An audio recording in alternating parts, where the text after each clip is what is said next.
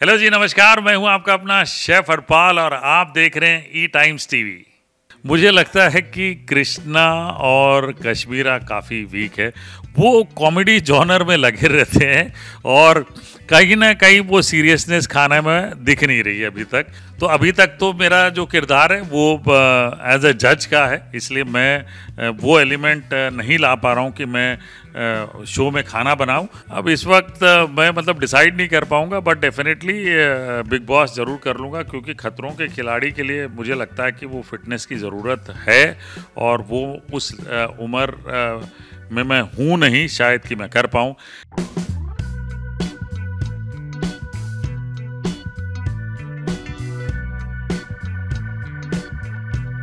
नमक नमक, शमक डाल देते हैं। ऐसा कुछ होना चाहिए एलिमेंट जिससे लोग खुश हो जाएँ और किचन की ओर बढ़ें। और वो बड़ा काम कर गया टर्बन तड़का में। और जब ये सीज़न अप्रोच किया लाफ्टर शेफ्स का सीज़न वन जो हो रहा है, ये जब अप्रोच किया गया, मेरे, में, मुझे बताया गया कलर्स की ओर से तो मैंने सोचा कि ये अपॉर्चुनिटी तो बेस्ट अपॉर्चुनिटी है, और इसे मैं खो नहीं सकता हूँ। मैं ये ज़रूर कहूँगा कि सीरियस एंटरटेनमेंट की ओर मैंने कभी बहुत ज़्यादा काम नहीं किया, क्योंकि बाकी जो स्टार्स है वो सीरियस एंटरटेनमेंट करते हैं। मैं कहीं ना कहीं एडुकेशनल कुकरी शोज़ मैंने किए हैं मैंने रियलिटी शोज़ भी किए हैं, लेकिन वो बहुत ज़्यादा नहीं किए वो रोज़ाना नहीं करता हूँ मैं। बाकी जो स्टार्स जो अभी कंटेस्टेंट्स हैं, वो रोज़ाना ये काम करते हैं। तो रोज़ाना मेरा काम शेफ़ का किरदार निभाने का होता है, चाहे वो टेलीविज़न में कुकरी शोज़ द्वारा हो या अपने रेस्टोरेंट्स में हो। तो मुझे ये ज़रूर था कि हाँ भाई, ये कैसे पेश आएँगे, क्या करेंगे, इनका जॉनर है ये कुकिंग, मैं इनके साथ कैसे मिक्स होऊँगा? लेकिन मुझे लगता है कि सब लोगों ने बहुत जल्दी अपना लिया एक दूसरे को, और I am thankful to everybody. भाई, सब लोगों का शुक्रिया करना चाहता हूँ कि सब लोगों ने इतनी जल्दी मुझे प्यार दिया कि भाई, ये जो कंफर्ट लेवल है एज अ जज एज अ शेफ़ वो मुझे समय नहीं लगा उनके बीच में मिक्स होने के लिए, मुझे ज़्यादा समय नहीं लगा। है भाई, बिल्कुल ये बात सही है। बहुत लोग सरप्राइज़ कर रहे हैं। मैं ऐसा नहीं कहूँगा कि सिर्फ़ अली गोनी और राहुल वैद्य ही अच्छा खाना बना रहे हैं। यस बना रहे हैं। कहीं ना कहीं अली गोनी अच्छा काम कर जाते हैं, लेकिन कुछ जगहों पे लास्ट मिनट पे वो गड़बड़ कर जा रहे हैं। कुछ जगह पे बहुत अच्छा काम किया उन्होंने। ठीक है ना? कुछ जगह में गड़बड़ कर गए। ऐसे ही अर्जुन और करण की भी जोड़ी है। ऐसे ही मैं कहूँगा कि अंकिता और इसकी, विक्की की भी जोड़ी है। तो बाकी भी है सुदेश, लहरी जी, निया, वो भी अच्छा कर रही हैं। जो जेंजी गर्ल्स हैं, वो भी अच्छा कर रही हैं। कृष्णा और कश्मीरा लगे हुए हैं, डटे हुए हैं कुछ ना कुछ करके दिखाने के लिए। अभी तक वो बात बनी नहीं है उनकी चीज़ों में, लेकिन मुझे लगता है एलिमेंट, बॉयज़ में वो बात है।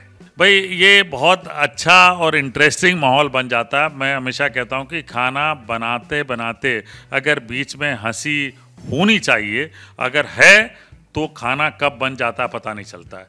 तो ये एलिमेंट और ये शो का जो एसेंस है, वही है ये ये बताना नहीं कि स्टार्स देखो स्टार्स कैसे खाना बना रहे ये बता रहे हैं कि वो भी बना सकते हैं, हँसते हँसते खाना बन सकता है और कोई गाइडेंस मिल जाए तो खाना और भी बेहतरीन बन सकता है। तो ये मेरा किरदार है कि मैं थोड़ा गाइड करूँ, मैं एंटरटेन भी करूँ अपने लेवल पे। बाकी वो खुद अपने जॉनर में बहुत बड़े एंटरटेन एंटरटेनर्स हैं ही हैं तो मज़ा आ रहा है मुझे इस चीज़ में।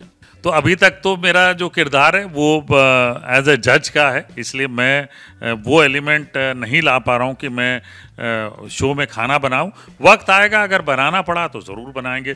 गाइड ज़रूर कर रहा हूँ, हर स्टेप पे कि ये करेंगे तो ये अच्छा होगा, ये करेंगे तो ये अच्छा होगा।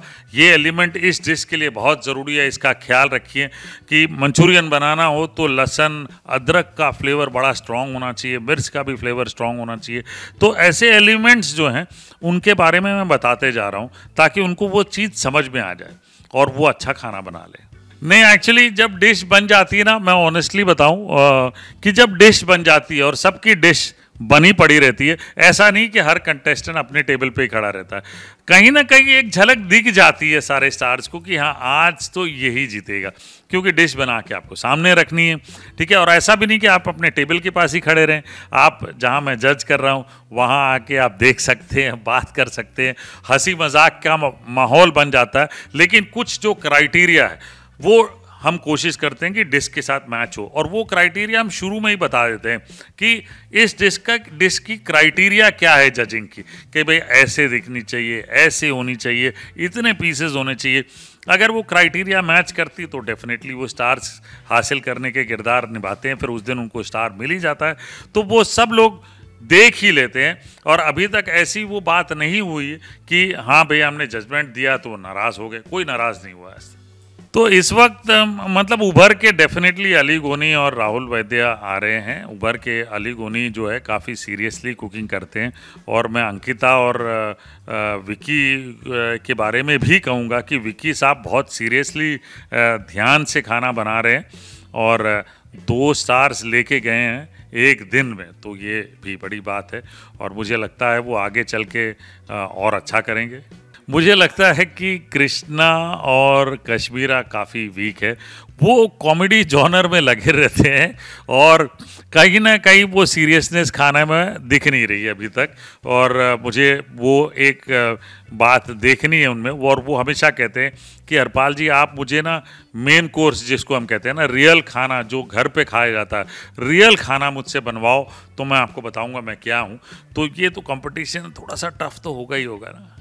अब इस वक्त मैं मतलब डिसाइड नहीं कर पाऊँगा बट डेफिनेटली बिग बॉस ज़रूर कर लूँगा, क्योंकि खतरों के खिलाड़ी के लिए मुझे लगता है कि वो फिटनेस की ज़रूरत है और वो उस उम्र में मैं हूँ नहीं, शायद कि मैं कर पाऊँ। लेकिन समय आया तो कर लेंगे। देखिए, एक बड़ी सिंपल सी कहानी है। आप क्रिकेट खेलते हैं, ठीक है ना? एम्पायर जो है, जब डिसीज़न ले लेता है तो एम्पायर का डिसीज़न फाइनल होता है और आपको उसकी बात माननी पड़ती है। तो मुझे ऐसा लगता है कि रिस्पेक्ट एक दूसरे के लिए होना चाहिए। और अगर आप कंटेस्टेंट हैं तो आप इसीलिए कंटेस्टेंट बने हैं क्योंकि आप पार्टिसिपेट करना चाहते हैं। और जज को तो कहीं ना कहीं चैनल ही डिसाइड करता है तो वो एलिमेंट जज का होता ही होता है। आप शायद वो रिस्पेक्ट करेंगे। हो सकता है कि जज सारी चीज़ें ना निभा पाए। हो सकता है जिस तरह मतलब क्रिकेट का भी एम्पायर वो शायद विराट कोहली की तरह नहीं खेलता है। लेकिन जब वो आउट देता है एम्पायर तो विराट कोहली भी चुपचाप पवेलियन की ओर जाते ही हैं। तो ये तो जज का रिस्पेक्ट रखना ही पड़ेगा, मुझे लगता है। देखिए, अभी तक तो वो बात नहीं आई कि वहाँ पे एरोगेंस दिखे मुझे। ऑनेस्टली मैं कह रहा हूँ कि मुझे एरोगेंस वाली बात नहीं दिखी। क्योंकि मुझे लगता है कि सबसे पहले तो ये ज़रूर बताना चाहिए सभी कंटेस्टेंट्स को कि वो जो काम कर रहे हैं, वो आसान काम नहीं कर रहे हैं। वो बहुत बेहतरीन काम कर रहे हैं। अब चैलेंज है, कहीं ना कहीं एक विनर निकलेगा या दो विनर निकलेंगे सारे तो नहीं हो सकते। तो किसी का, की चीज़ बहुत बेहतरीन बनी होगी और किसी की नहीं बनी होगी। तो जिसकी बनी है, आज तक सब लोग एग्री करते आए हैं और बोलते भी आए हैं कि हाँ भाई, ये जजमेंट सही रही है और इसकी डिश भी कमाल की बनी है, बहुत ही बेहतरीन चीज़ बनी है। तो ये मुझे लगता है कि अभी तक मैंने वो एरोगेंस देखा नहीं है।